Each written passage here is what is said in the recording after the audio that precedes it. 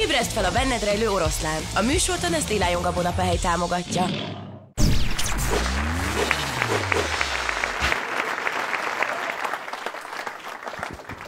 Köszönöm szépen, sziasztok!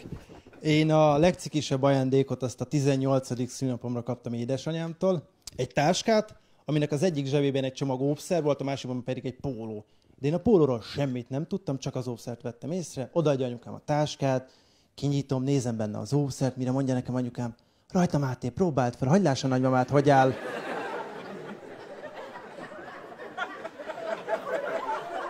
És még azt is hozzátette, tudom, hogy ez a méreted. Én meg így, én meg így, honnan? Mire a nagymamám, amikor aludtál, beosontunk és megmértünk.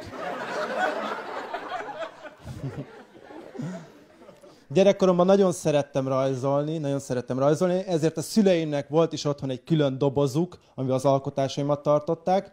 Úgy hívták, hogy kuka.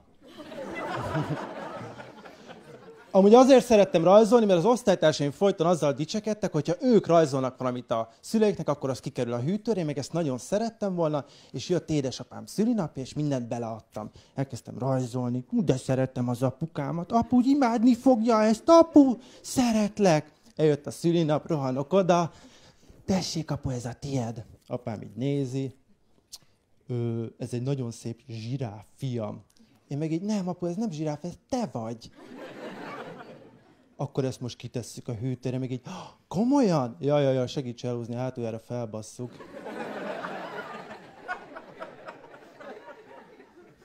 Nem akarok felvágni, nem akarok felvágni, de én már az indításának első napján utaztam a négyes metrón. Kiderült, hogy milyen szomorú az életem, hogy azt hiszem ezzel fel lehet vágni. És már az első alkalommal ki akartak zsebelni. Az első alkalommal a világ legrosszabb tolvaja. Éreztem, hogy egy srác becsúsztatja a kezét a farzsőembe, és így, hát kb. masszírozta a seggemet.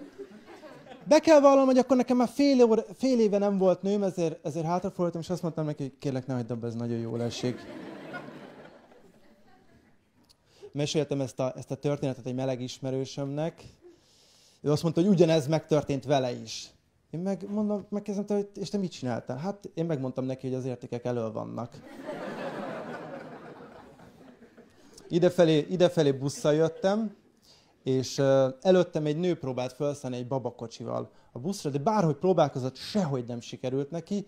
Nekem meg valami lassan esett, hogy menj már oda, segíts neki, mert hülye vagyok. És mire elindultam volna, hátam mögül odaugrott egy ilyen 10-11 éves apró törékeny kislány, és ő segített felcipelni a nehéz babakocsit. Talán mondanom sem kell, hogy amikor felszálltam, mindenki engem nézett. És tudom, hogy mindenki ugyanarra gondolt. De rohadt jó képű ez a srác. Viszont az alakomon tudom, hogy van mit még formálni, most is fogyókúrázom. Ismerőseim szokták kérdezni, hogy hogy állom meg azt, hogyha látok valami finom és hízdaló kaját, abból nem eszek. És elmondom nektek, én azt szoktam csinálni, hogyha egy ilyen étel kerül elém, én elkezdem magamban mondani, hogy jó Máté, ne edd meg, ez egy kisbaba, ez egy kisbaba, ez egy kicsi, édes baba, Máté, ne egyél belőle. Az a baj, hogy ez visszafelé sültem, mert meglátok az utcán egy kisbabát, és megyek utána, megkóstoltam anyuka. Amúgy tényleg voltam 100 kiló felett is, 100 kiló felett is, és hát úgy fogytam le 30 kilót, akkor fogytam le, amikor megjelent a médiában a Sobert család. Biztos ismeritek a Norbit, olyan, mint a filmproducer a keresztapában. Ja. Azzal a különbséggel, hogy a filmproducer csak egy reggel kelt fel, úgyhogy lófej volt az ágyában. Norbi minden reggel úgy kell, akkor meglátja a rékát. De ők motiváltak, hogy fogyjak le, azt mondtam magamban, Máté, hát mert én magamban tegezem magam, most lefogysz, kigyúrod magad, és olyan férfias tested lesz, mint a rékának.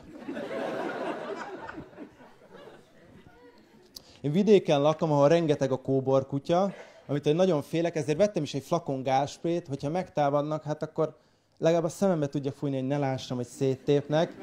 Mutattam a gásprét nagymamámnak, aki a következőt mondta, hogy jó van Mátékám, csak használd el, mert megromlik és büdös lesz. Imádom olvasgatni a gyakori kérdéseket. Következő kérdést tette fel egy srác. Lányok, 11 cm-es pénisszel lehet lovagolni? bár nem vagyok lány, megírtam neki, hogy igen, lehet, mert a lovaknak teljesen mindegy. Köszönöm szépen, további jó szórakozást!